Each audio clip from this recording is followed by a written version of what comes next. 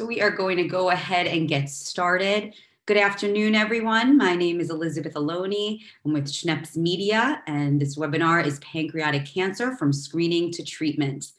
I want to tell you a little bit about Schneps Media, and then we'll get started. But Schneps Media is one of the largest local media companies, publishing over 70 newspapers, magazines, websites, webinars, podcasts, and events throughout Manhattan, Queens, Brooklyn, the Bronx, Westchester, Long Island, the East End, and Philadelphia.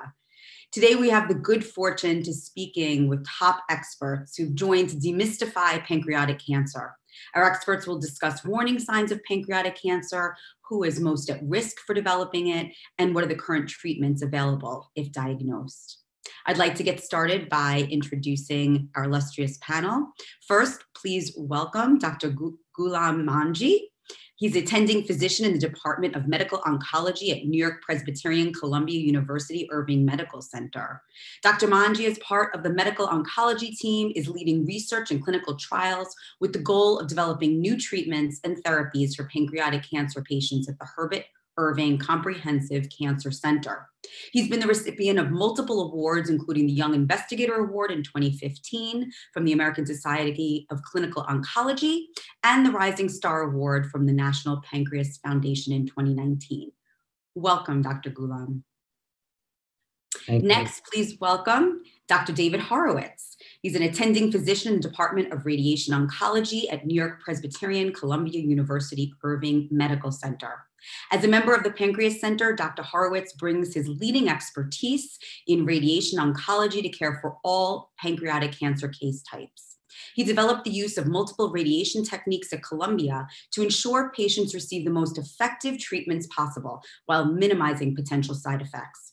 This includes novel techniques for both image guided as well as adaptive radiation therapies. Dr. Horowitz is also the program director for the Radiation Oncology Residency Program, which shapes the next generation of leaders in this field. Welcome, Dr. Horowitz. Thanks very much.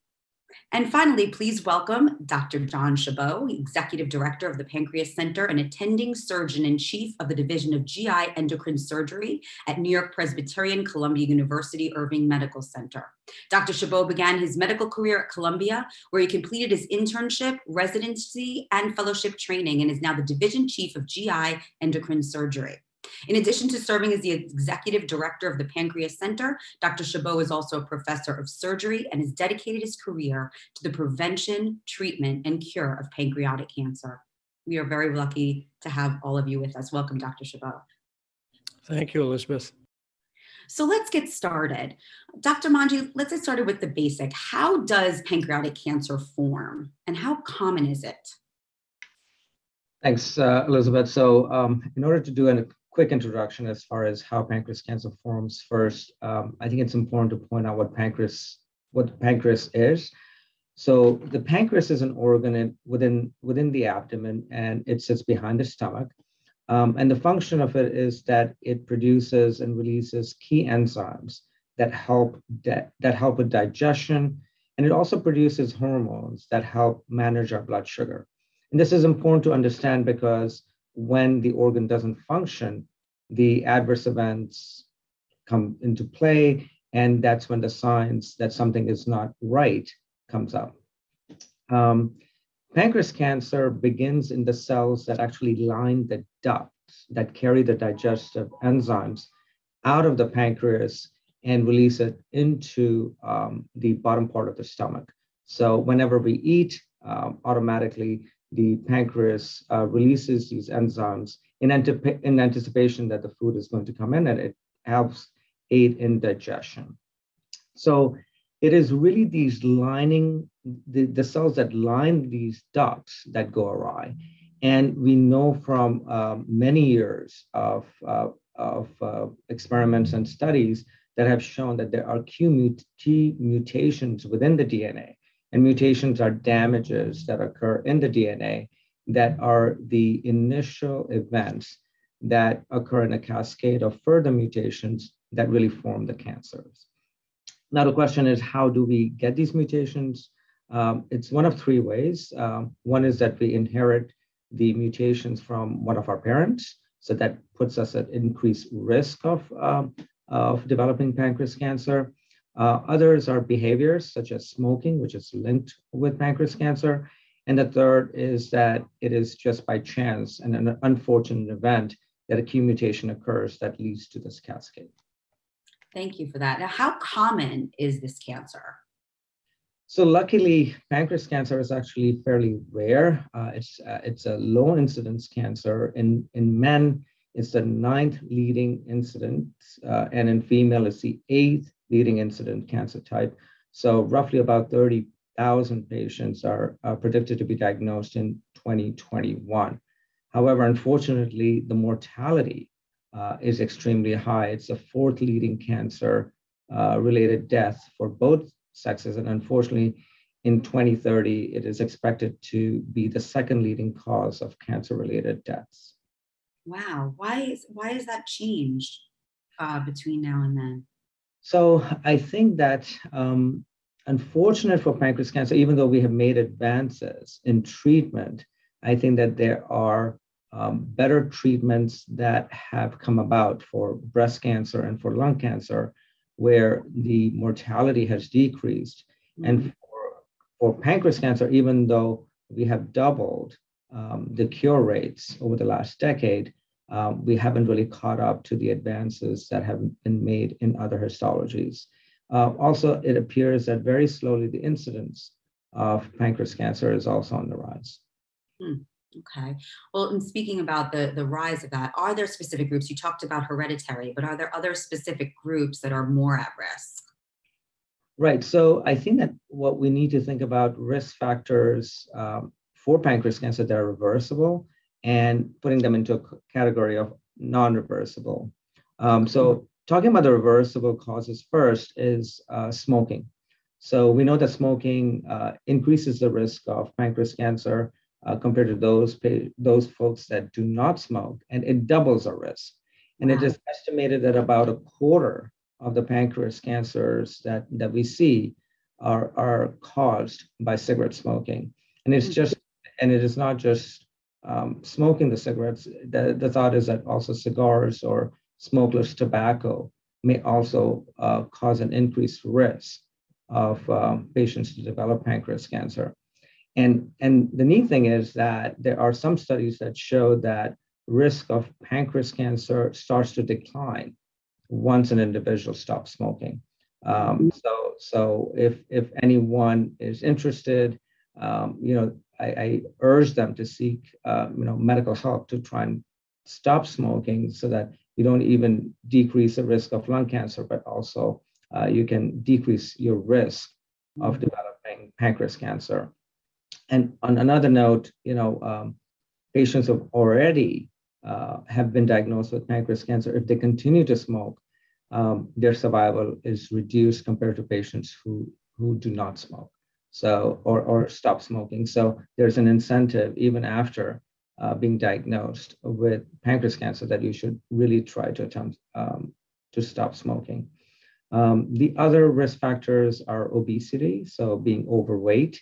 And uh, so if you have a body mass index greater, greater than 30, um, there is an increase, 20% more likelihood that you that an individual is at risk um, truncal obesity, meaning that gaining weight uh, right around the waist, but not being overweight, also uh, may put you at risk, uh, increased risk.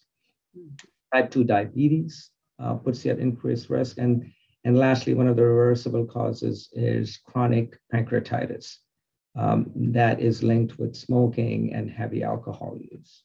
Um, so those are the reversible uh, risk factors. The non-reversible risk factors, unfortunately, are aging. So as we age, we are at increased risk of developing uh, pancreas cancer.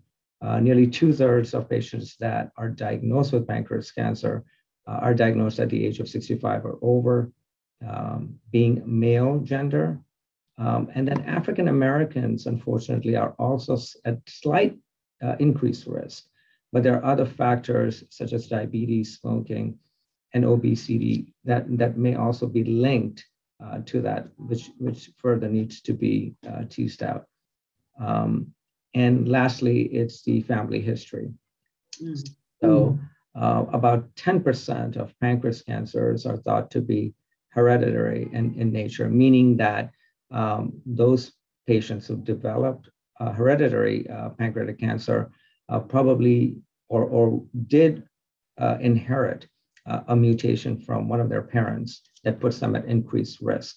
a common um, gene that is identified and known is BRCA1 and BRCA2. So um, many patients or individuals know BRCA2 mutations and associate it with, with breast cancer, but um, but BRCA's BRCA mutation in BRCA genes definitely puts you at increased risk for pancreas cancer as well. And there are many different genes that are being identified, and there are also syndromes which relate some of these mutations to different types of cancers. So um, it's important to know, you know, family history of cancer. So uh, if there are individuals uh, whose family history uh, is strong for breast cancer, for melanoma, for pancreas cancer, for colon cancer, um, it's important to talk to your uh, physician to see whether uh, you should you are at increased risk for pancreas cancer as well. So these other If I can jump in for just a second, um, I think Dr. Manji had a moment of wishful thinking um, when he answered your question as to how many people will get pancreatic cancer. Uh, in 2021, it's more like 50,000. Gulam, you said 30,000. Wow. Yeah, 30,000 uh, for each male and 30,000 for female. So putting it together, 50 to 60,000. And unfortunately, that incidence is, is increasing. So it sounds like there are a host of things that one can control to reduce their risks, like smoking, their weight, controlling their diabetes, uh, pancreatitis, dealing with that. Um, and then there are the pieces that can't be controlled but can be dit- screened for to be able to give you more information to then address. Right, exactly. You know, unfortunately, with irreversible such as age, gender, race, you know, I don't think that that justifies increased screening, uh, but definitely, you know, knowing your family history, knowing that there is an increased incidence of such as breast cancer uh, or pancreas cancer, um, that those patients should speak to their uh, physician to see whether they they should be screened. Thank you for that. So we know what, what to look for and we know what we should need to talk to our doctors about for our family history to set us up in the right direction. What about warning signs? Are there early warning signs that one should look out for with pancreatic right. cancer? So, um, you know, so there are a few. Um, uh, pain, back pain, uh, persistent back pain, and abdominal pain um, that just won't go away uh, is something that that you know there should be extra vigilance. Um, you know, it, it, again, uh, since most of the patients are at the age of 65, where there's chronic back pain uh, is is a common issue, but if there's persisting sort of gnawing, you know, gnawing back pain uh, in the setting of unintentional weight loss, so all of a sudden, you know, um, you're trying to lose weight, but the weight is just sort of melting away, uh, and you have sort of epigastric or abdominal pain or you know in association with back pain that definitely should sort of make you wonder that that we need to investigate this further. Um, dark urine yellowing of the eyes um, light colored stools that are floating and not sinking um, um itchiness constant itchiness of the skin um, those are all signs that that something may not be not be right um, the other signs are um, a uh, blood clot, for example, uh, a, a, blood clot that happens in the lower extremities that, that is unprovoked, meaning that um, there are not other reasons why a patient developed a blood clot. And then in combination with that, you know, abdominal discomfort. So a constellation of some of these signs should uh, lead to further in- investigation. And, and also an important one is uh, someone who is sort of elderly, over over the age of 50 or 60, never had a history of diabetes, and all of a sudden has new onset uh, diabetes that's very difficult to control, where you require insulin, or patients who have had very well controlled diabetes and all of a sudden are requiring um, insulin and high levels of insulin, uh, and then again losing weight at the same time, should sort of put a red flag and, and make sure that something else is not underlying, uh, such as such as a pancreas tumor. Thank you for sharing those warning signs. So if you have those, certainly should be seeing a doctor and, and addressing them. So how is pancreatic cancer identified and diagnosed? Right. So usually one of these warning signs lead uh, a patient to go to their primary care physician. For example, if it has jaundice, darkening of the urine, uh, a normal blood test is done. And what that, that will show is that there is an uh, abnormal liver enzymes. And that will then lead to either an ultrasound or a CT scan or an MRI of the abdomen, which will then identify um, that there is most likely a mass in the pancreas. Or uh, if they cannot see the pancreas mass, and, and that can happen, there will be an abrupt cutoff of the duct uh, in the pancreas. So that will lead to further investigation and the patient will then be referred to a gastroenterologist who will then perform an endoscopy with an ultrasound and to look for this mass and do a biopsy, which will then confirm, um, uh, unfortunately, uh, pancreas adenocarcinoma. Now, what are the four categories? You know, what is what is a process that a patient may go through? Uh, you're talking about the stages of pancreas cancer. Yes. Right. So, you know, normally with many different cancers, we think about stage one, stage two, stage three, stage four. Um, in, in, in pancreas cancer, I think that we need to think about uh, think about the staging more practically, meaning that uh, what are the tools that we can use to truly treat this cancer? Um, you know, the only, unfortunately, right now, the only curative option that we have is surgery in combination with chemotherapy and potentially radiation treatment. Excuse me.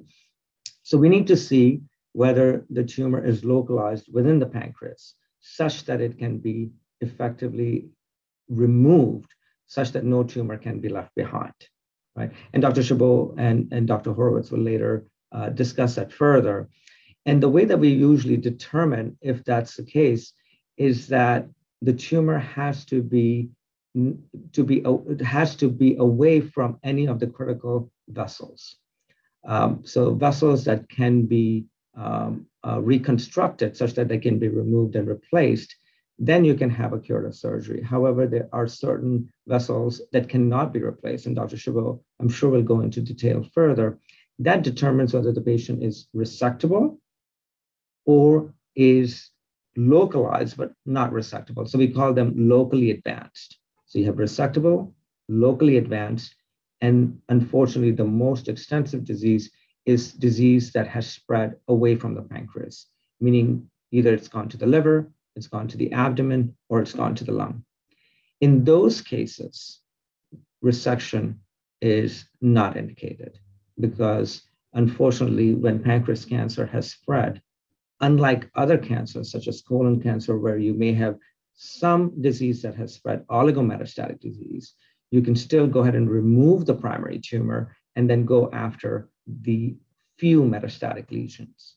In pancreas cancer, unfortunately, we think that if the cancer has already spread, even though if there are few lesions, there are certainly most likely additional smaller lesions that you cannot see yet.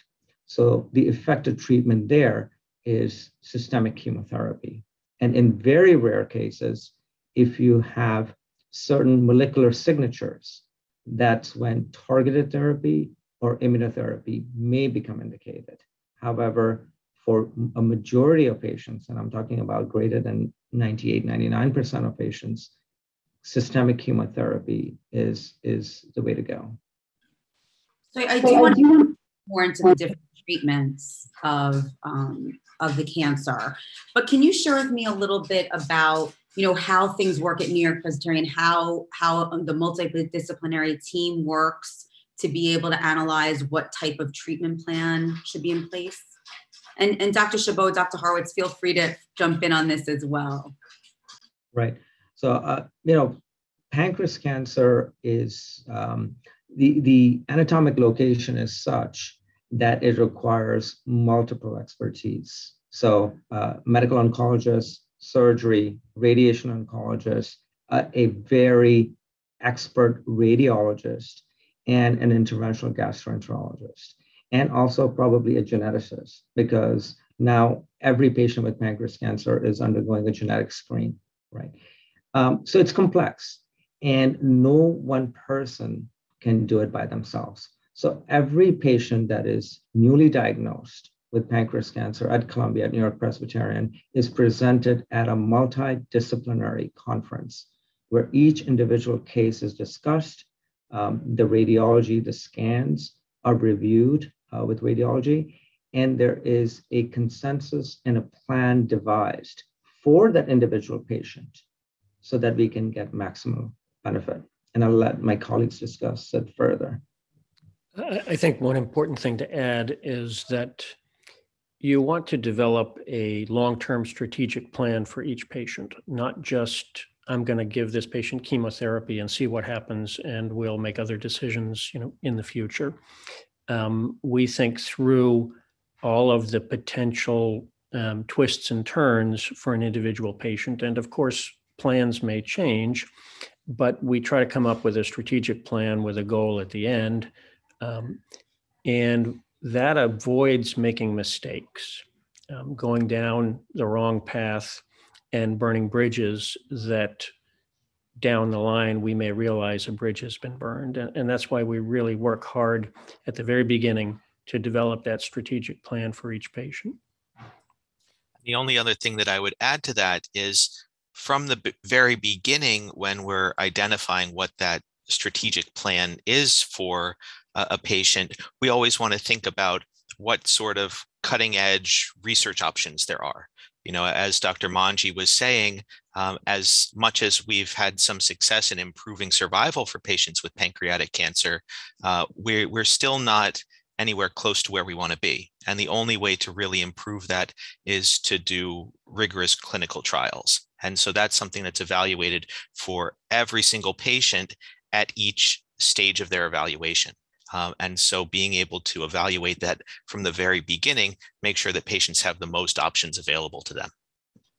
That's really extraordinary, you know, thinking about it from a patient's perspective, to know that you're going to have um, all of these uh, educated minds looking at their case in particular and making the right decision for treatment plans. Um, it certainly provides a lot of hope to me as, as a potential patient. Um, so Dr. Horowitz, let, let's let's stay with you for a minute here. What if radio, radiotherapy is needed? Yeah, so that that's a really interesting question, and the role for radiation in the treatment of pancreas cancer uh, is frankly controversial. Um, and like Dr. Manji was saying, the anatomic location of where the pancreas is and where tumors arise within the pancreas makes surgery difficult for a lot of patients. There are a lot of blood vessels that pass right by the pancreas and get involved um, by tumors very early.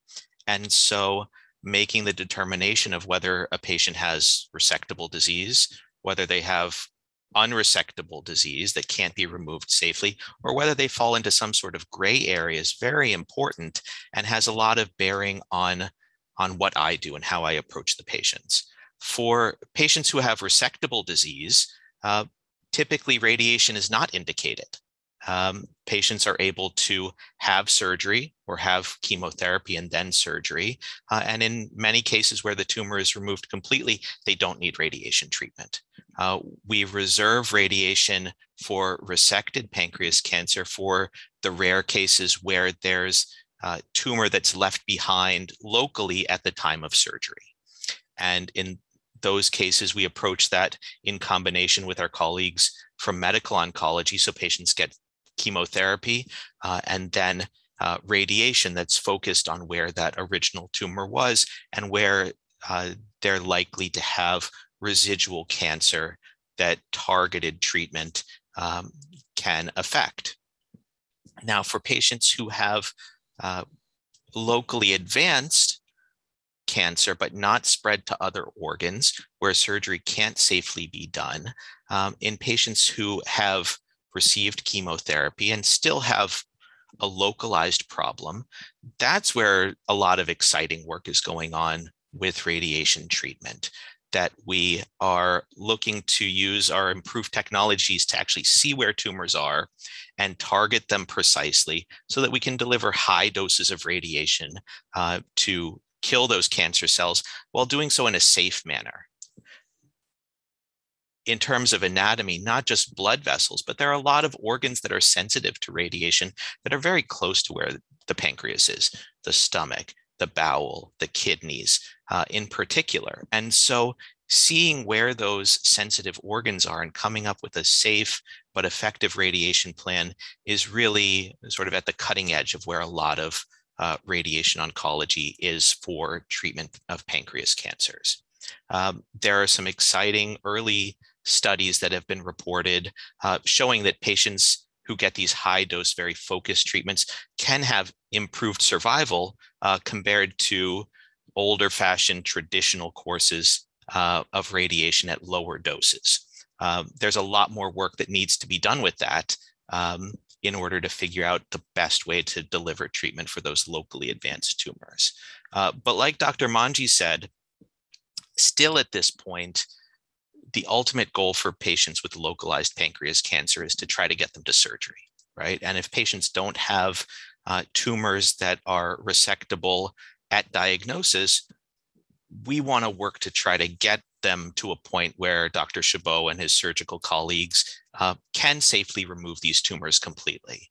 Um, and so we typically start with a course of multi-agent chemotherapy, which I'm sure Dr. Manji could speak to in more detail, again, to try to shrink the tumor locally, as well as reduce the risk of early spread to other organs so that that tumor remains localized.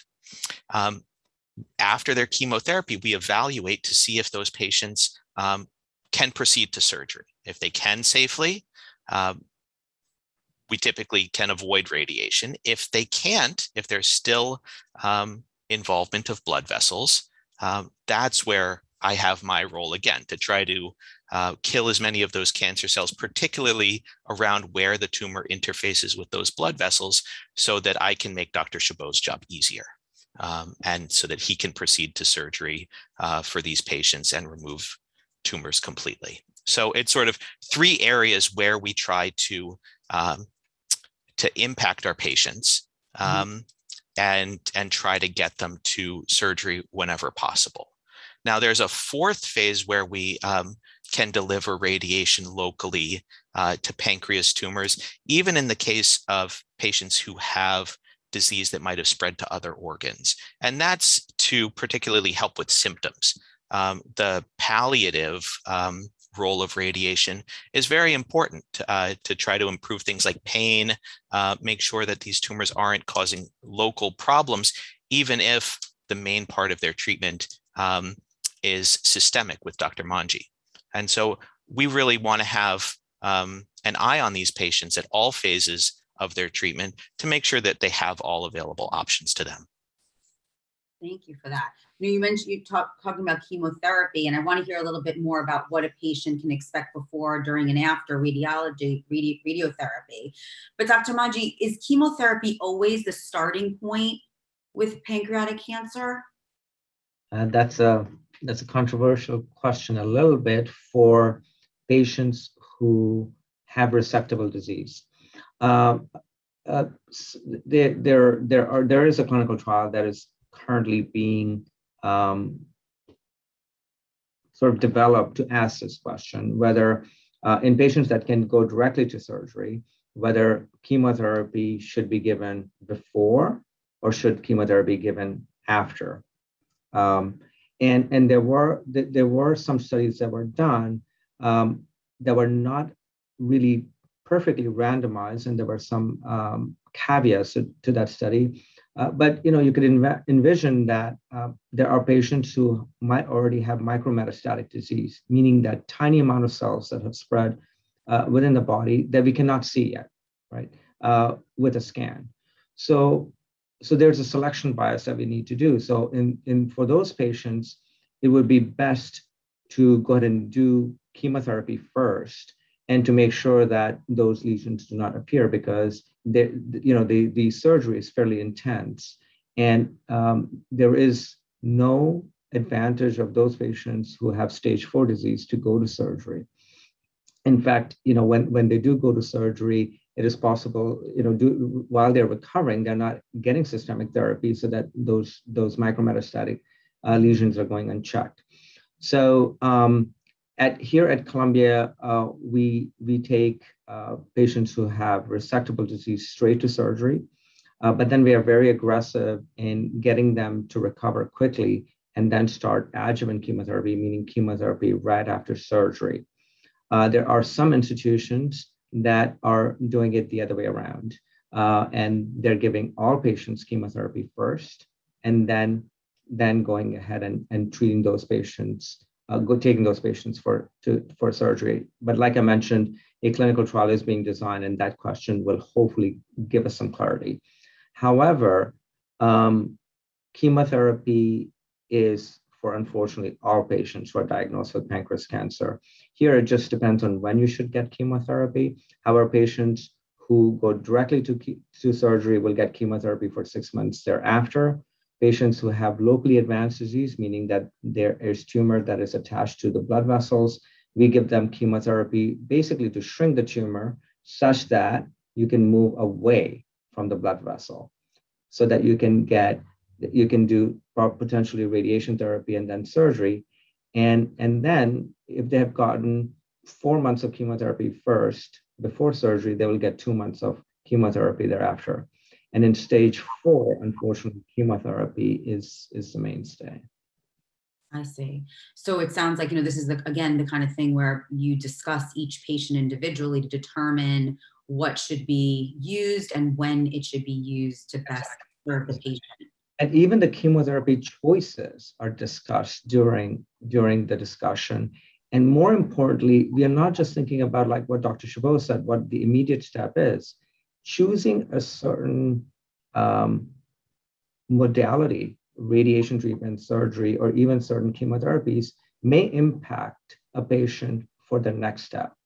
So it's not that we are thinking about the next immediate step, we are thinking about the following steps, uh, which we want to make sure that patients will not be precluded from clinical trials.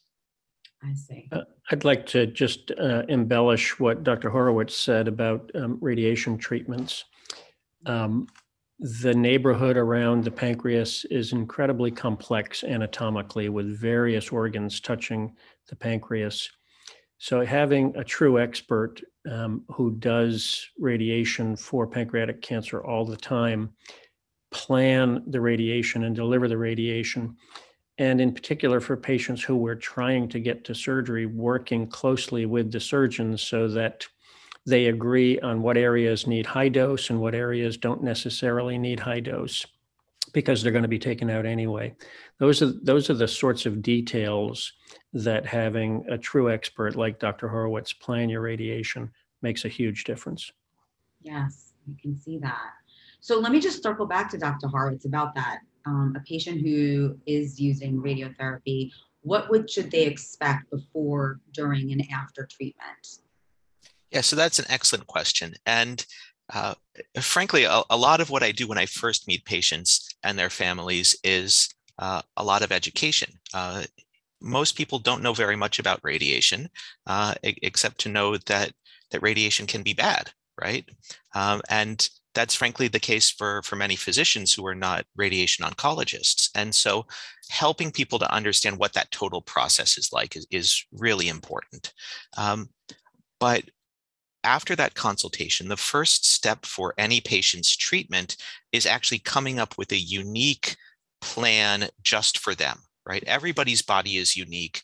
Everybody's tumor is in a slightly different location. And the relationship of that tumor with blood vessels and with the normal organs around it is going to be different for everybody. And so we do a what we call a simulation CAT scan, which is a CAT scan like any other that people have had before, but we put them in the exact position we want to give them their treatment. So typically they're lying down with their arms sort of up over their head, and we have a bunch of devices to help keep them nice and still. Um, and these devices, they're almost like uh, bean bags that we pay, uh, place patients in, and then we suck the air out of it and they take the shape of the patient. Um, there are other devices that we sometimes use where we mix different um, chemicals together and they produce a, a, foam that sort of wraps around part of them. But it, it's unique for each individual patient. And the idea is to try to get them in the exact same position each time we give them their treatment. Um, we try to do very high quality CTs so that we can actually see the tumor as precisely as possible. And so we've actually worked with our colleagues in diagnostic radiology to not just do sort of standard simulation CAT scans uh, that are done at many centers, but really do pancreas protocol CAT scans as part of our simulation process so that we can really see exactly what our diagnostic radiology colleagues are seeing, and we can help define where those tumors are as precisely as possible. Um, after we do that planning session, after we do that CAT scan, we take a bunch of photographs um, and then we give the patients a schedule for when they should come back for their treatment. It typically takes about a week, sometimes up to a week and a half to come up with a good plan for the radiation. Uh, we're fortunate to use very sophisticated computer software to help design where the radiation should be coming in. The, the way that we deliver the radiation are with uh, incredible machines called linear accelerators. And they can move around the patient in 360 degrees and the table the patient is lying on during treatment can actually rotate um, so that the radiation comes in from multiple different angles and avoids too much dose to the normal organs as it's going in, but can sort of all intersect at the same point where that tumor is. Um, and that process, again, takes a long time to, to do and to then actually make sure that those machines can deliver that treatment that I've designed on the computer there's a, a, lot of quality assurance that goes into that. And so there's a big team of us here in radiation oncology that really um, is behind every single treatment. Um, you know, myself, our physicists, our therapists, um, as well as our nursing and nutrition staff to make sure that we're we're actively and proactively um, helping our patients as they're going through these treatments. Now, depending on the different courses that we're giving, they can be getting five treatments, which might be given over a week or a week and a half. Um, but for some of these longer ablative courses of radiation for locally advanced or unresectable pancreas cancer, those might be three or five weeks of treatment. Um, and so managing symptoms as they uh, go through, whether it's tiredness, whether it's poor appetite, whether it's nausea, those are important things because helping people uh, maintain their energy, maintain their weight, um, it helps them feel better. It helps them get through the treatments easier. And frankly, if they're not losing weight, they look um, exactly the same when they're getting their treatment. And so the, the way the radiation is getting delivered to the tumor is closer to the way that I want it to be. And so that, that's a really important thing that we do. Um, and then, you know, frankly, during each treatment, we image and we check that we're treating the exact right spot, right? It's called image guided radiation therapy.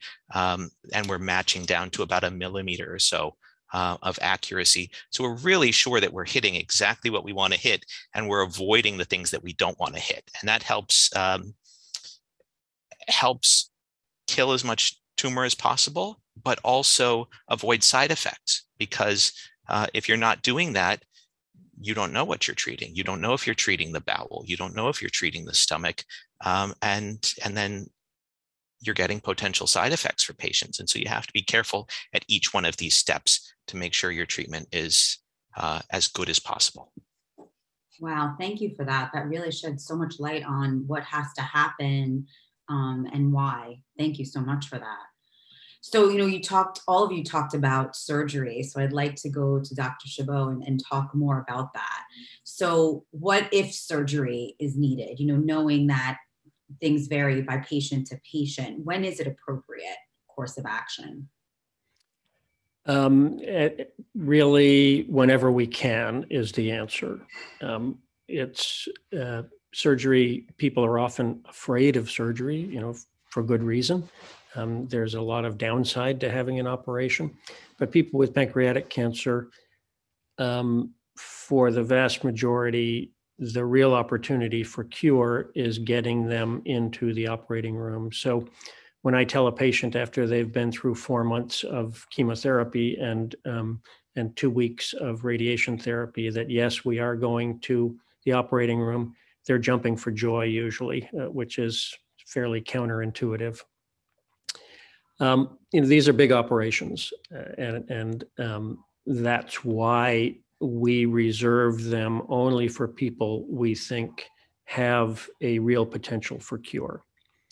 If if we really don't think we have an opportunity to cure people, for example, somebody who has four spots in their liver that we've proven with a biopsy are cancer, um, they don't benefit from an operation. And in fact, by definition, they're harmed by an operation because it means for whatever recovery period after that operation, they're unable to get the treatments that they really benefit from. So we want to be aggressive. We want to operate on anybody who does have an opportunity for cure. But we also need to be realistic that surgery harms people. And when there isn't an opportunity for cure, we really should not be using it. Mm, it, it used to be that there were a number of different symptoms, blockages, that sort of thing that we did surgery for, even though we knew we couldn't cure people with pancreatic cancer, but they needed to have something fixed uh, to address symptoms. Almost all of those can be addressed now with interventional radiology techniques, interventional gastroenterology techniques, putting stents in various places. And for pain, uh, in particular, a radiation therapy. So we really try to only operate on people when there is, quote, curative intent. I see. So, assuming that a, a patient is appropriate for surgery, what are some of the types of procedures that are done? Uh, there are two basic uh, procedures that we use, you know, 99% of the time. That's uh, removing the head of the pancreas uh, called a Whipple operation. Um, the head of the pancreas is the more complex part. It includes the duct that carries pancreatic juice as well as the duct that carries bile. Mm-hmm. And it also means that we have to remove an attached piece of intestine. So once we get that specimen out, there are several um, reconstructions that we have to do to put the gastrointestinal system back together so people function normally. Uh, so that's the bigger of the two basic operations. The other is something called a distal pancreatectomy, which relates to the part of the pancreas to the left of the body. Um, that's um, easier in that there's no major reconstruction we have to do. We just need to get the piece of pancreas out that we're targeting that contains the tumor and most of the time, when we're talking about cancer surgery of the distal pancreas, we include removal of the spleen. Okay, thank you for that. So, what what should a patient, and is it different with these different types of surgeries? What should they expect before, during, and after surgery? Uh, it's definitely different. Um, let, us concentrate on the more complicated one, uh, the Whipple operation. Uh, that's the more common one that we do. Um, people, uh, if everything goes well, there we've got a, a sort of protocolized recovery plan for people. The first day after the operation, we do this, this, and this. The second day, um, they start you know, drinking liquids, um, and and there's a steady progression of events um, over the course of their hospital recovery. And if they stay on that path, which the majority of patients do, um, they go home after about six days. Mm. At home, they are generally eating five, six, seven small meals a day. And we have a very, very um, restricted diet that we've learned over the years works well for people who have had this operation. Uh, there's a fair amount of fatigue. Um, surprisingly, um, there isn't much pain. And the reason there isn't much pain is that we have learned uh, how to manage early postoperative pain with multiple different simultaneous strat- strategies that are synergistic. And if you avoid that peak of pain that tends to happen historically in people after the first day or two after surgery, their their course with pain throughout their recovery is dramatically better. It's it's that peak that gets their whole neurological system uh, sort of sensitized to pain, and and we're now good at avoiding it with using multimodality uh, pain treatments. So fatigue, um, small frequent meals, um, not much pain. Um, when people have even more complex operations than the Whipple, when we have to remove blood vessels, replace them, uh, there can also be a significant diarrhea that can be a challenge to control. So those are sort of the dominant problems that people are dealing with in the first few weeks of recovery at home. And all of them gradually get better. People get to the point where they're eating most foods, perhaps not all foods, but most foods, and they're eating a more typical three meals a day. After five or six weeks, the fatigue tends to magically lift. And that, that corresponds to a change in people's metabolism. Um, and uh, and and when people have that diarrhea I spoke of, it, it, can be a challenge to get under control. But once we get it under control, um, it's it's usually durable.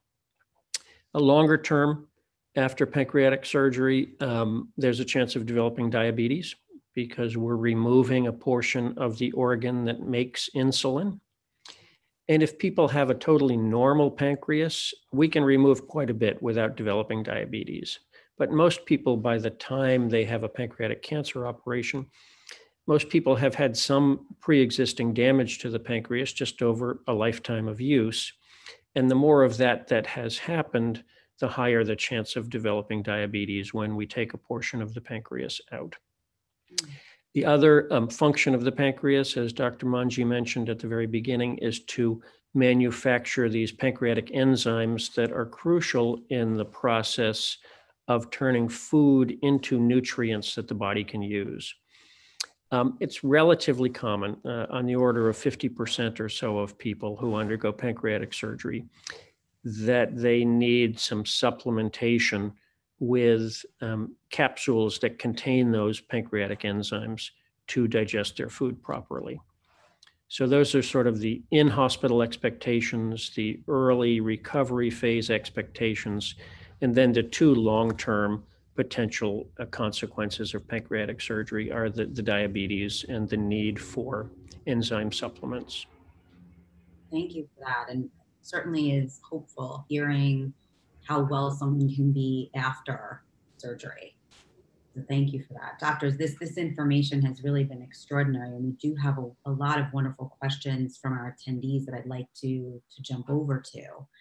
Um, we have a question here um, from D. O'Reilly. What are warning signs? More important, what test should we ask our doctor if you do see a warning sign that you mentioned?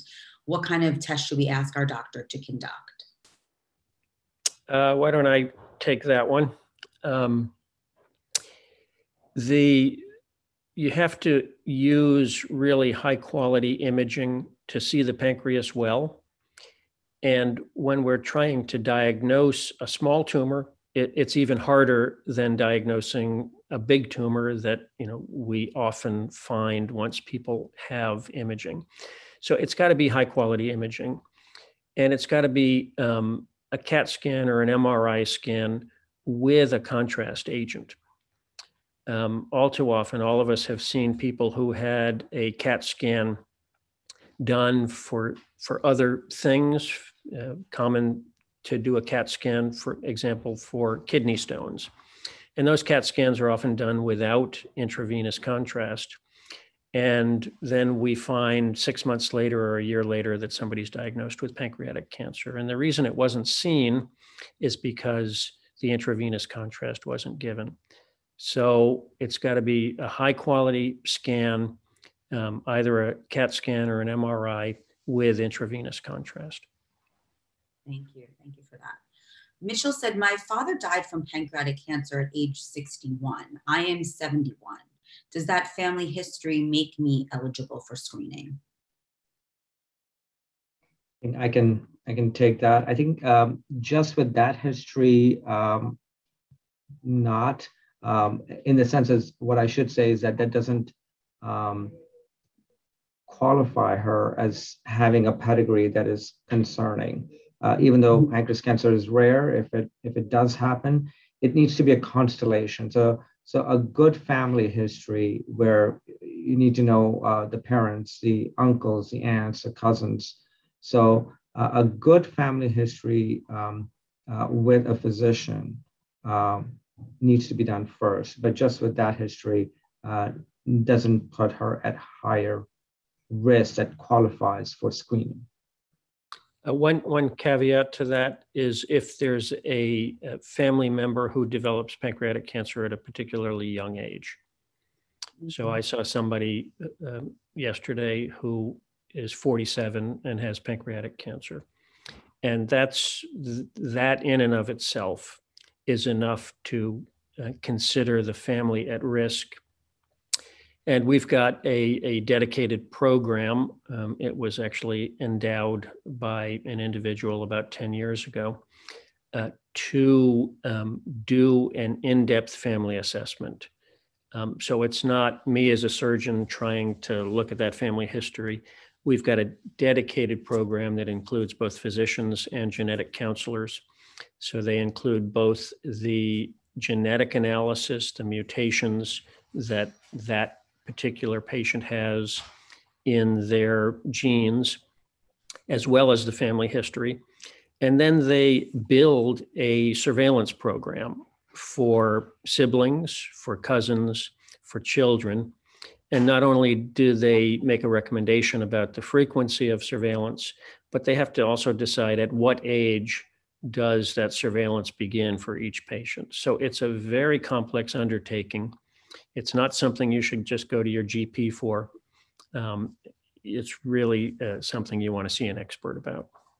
So it sounds like if you have a family history of a young person in your family who has had pancreatic cancer, that this would be a reason to go and try and learn more about your potential. So, it, but it sounds like it's different than like breast cancer, where you go and you find out if you have the BRCA gene, and women can make decisions about removing a breast or with it sounds like with pancreatic cancer and please tell me if, if this is true is it um, watching the patient is really the, the mode of of dealing with this family history uh, most of the time um, there are um, genetic mutations that produce pancreatic cancer with such frequency that will actually take the entire pancreas out.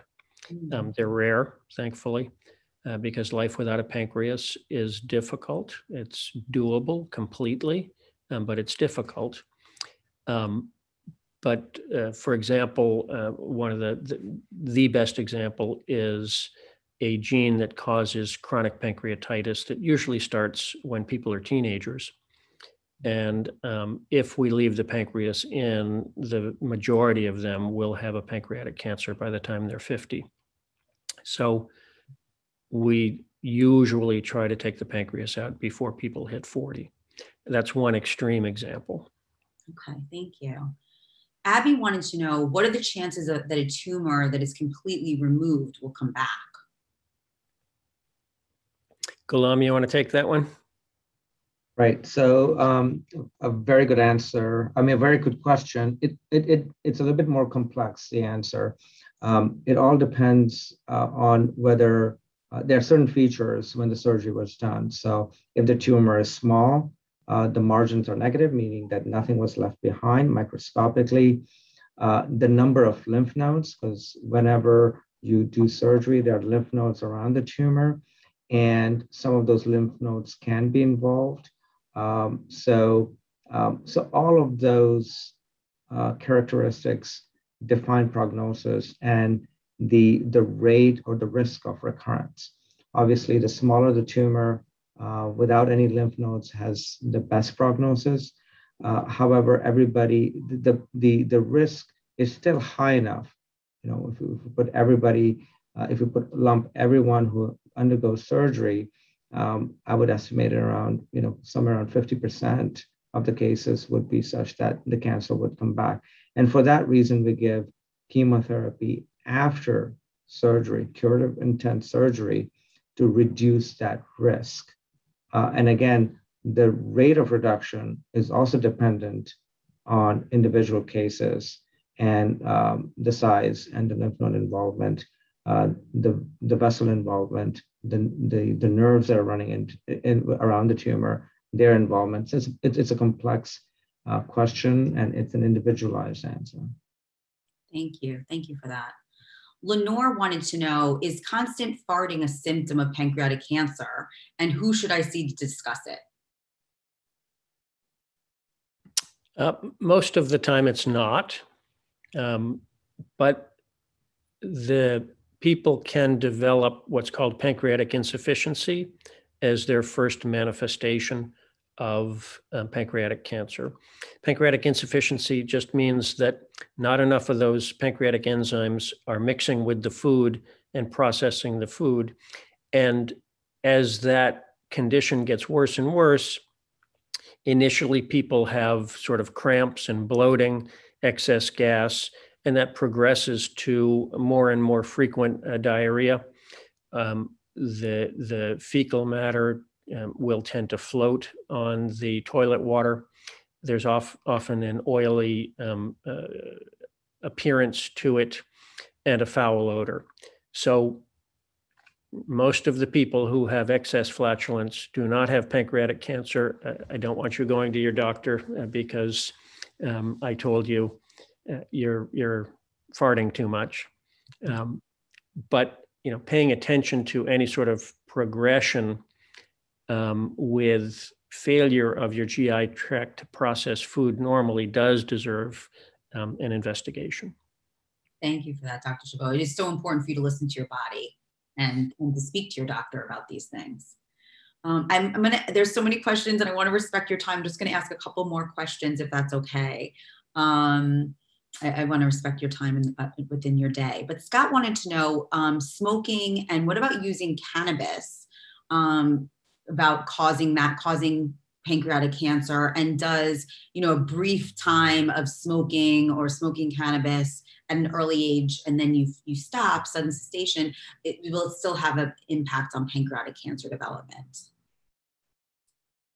I can take that. Um, so there was a, a, very good study that was done that actually looked at the extent so the intensity and the duration. Um, and it turns out that there is actually a dose response meaning that the more intense and the, the longer you smoke, the, the incidence of pancreas cancer goes up. So it's, it's, it's a relationship between that. Um, I'm not aware of cannabis. Um, usually these uh, studies were done with tobacco products. So um, um I, I, you know, not aware of a, uh, an association between cannabis and, and pancreas cancer. Error on the side of caution and don't smoke. Um, what about um, Karen wants to know about a pancreas transplant? Is that an option? Is that something that's done? Uh, pancreas transplants are done, um, but they're almost always done when somebody has terrible diabetes, so their pancreas isn't working, and they have kidney failure. And, and the reason for that combination is they're going to get a kidney transplant. And so they're already accepting the consequences of suppression of their immune system. And so they don't need additional immunosuppression for the pancreas transplant. For people with without a pancreas, um, it's actually safer to have a good insulin um, treatment regimen and take the enzymes than to undergo a pancreas transplant with the required immunosuppression. Thank you for that. We do have a couple people asking this question about um, digestive enzymes and if that's something that's recommended, supplementing with them. Uh, really only if there is evidence of um, inadequate pancreatic enzyme uh, uh, manufacture and delivery. Um, many people with pancreatic cancer and many people after pancreatic surgery will need pancreatic enzymes, but you really need to work with your doctor to ask the question is there a deficiency that exists and um, can supplements help with that? Thank you. Well, this has been incredibly informative. I want to let everyone know if you are interested in connecting with the experts from Columbia, you can call 212 305 9467. I did share that in the chat several times. I will also email that to everyone tomorrow, so you'll have that as well. Um, and Columbia has a, a, host of doctors that can help you. And obviously, as you can see here, they work together to find out the right course of action for all of their patients. So I do also want to let people know that this has been recorded. We will provide the link for you to be able to watch it again, um, share it. Please share it with your family, your friends. We want to get this information to as many people as possible. And doctors, I want to thank you so much, Dr. Horowitz, Dr. Chabot, Dr. Manji. Thank you so very, very much for this incredibly valuable time together and demystifying pancreatic cancer for us. Thank you for thank having you. us. Thank you. And thank you to all the attendees for spending some of your afternoon with us. I wish you all to stay safe, stay healthy, and we'll look forward to seeing you on a future webinar. Have a great afternoon, everyone. Bye-bye. Bye.